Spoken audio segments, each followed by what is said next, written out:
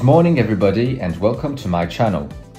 In today's video we are going to learn how to correctly understand charts and bathymetric lines.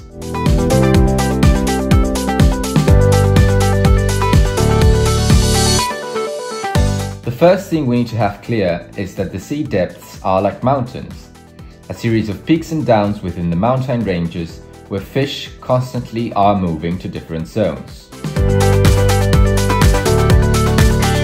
The location of these fish depends on the water currents, since they are the ones that determine where bait fish will be.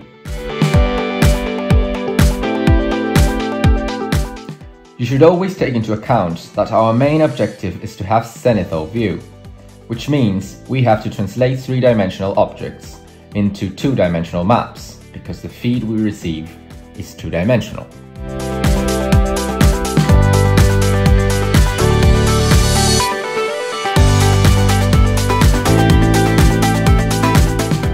In order to correctly understand bathymetric charts, we will need to comprehend that all the concentric images are all sectional drawings of the slopes and peaks of the underwater mountains.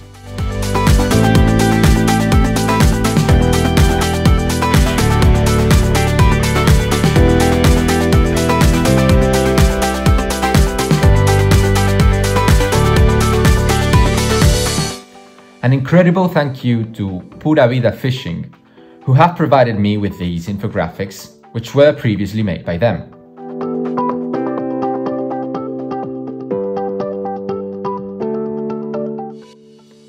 All of this has to be clearly understood. However, there is something that eludes us. All of these sectional drawings can lead to you understanding that the slopes are represented as vertical jumps that go down which is something that can't be interpreted.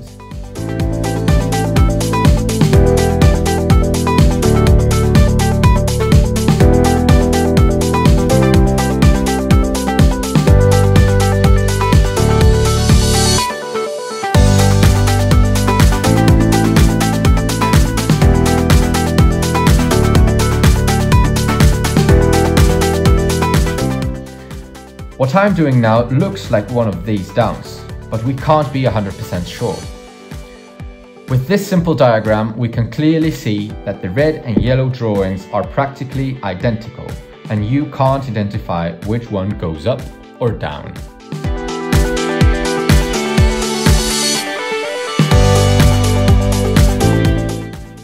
Nonetheless, if you rotate the camera's angle, we can interpret the second image as a third one which allows us to separate them, one of them being a mountain peak and the other one a downfall.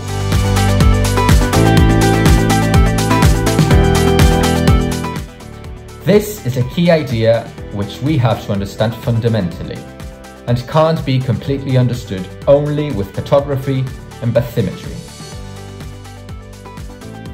This is a clear example which teaches us how to identify structures like cliffs, crag, hills and or plateaus.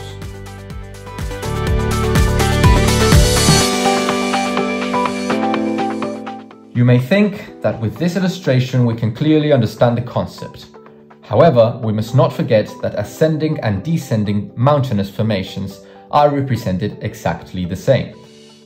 If there is no more information available, for example meters or colors, the bathymetry can only inform us of the vertical variations of the terrain without telling us if they ascend or descend.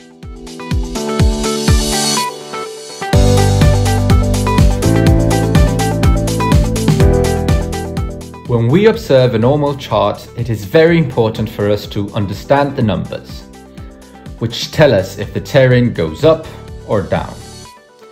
A more precise way to know is the technology provided by Lowrance and Simrad, which have an option to color each zone with an appropriate color.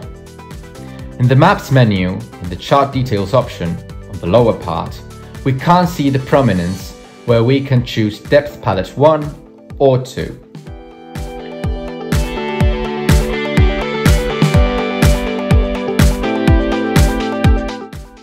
Both can be modified and we can add colors so that they are easier to identify.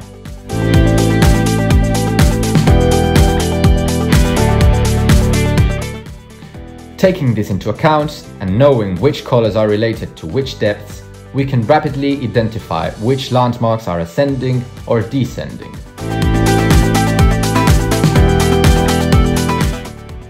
This will allow us to completely understand the interpretation in order to know which underwater landscapes we are observing.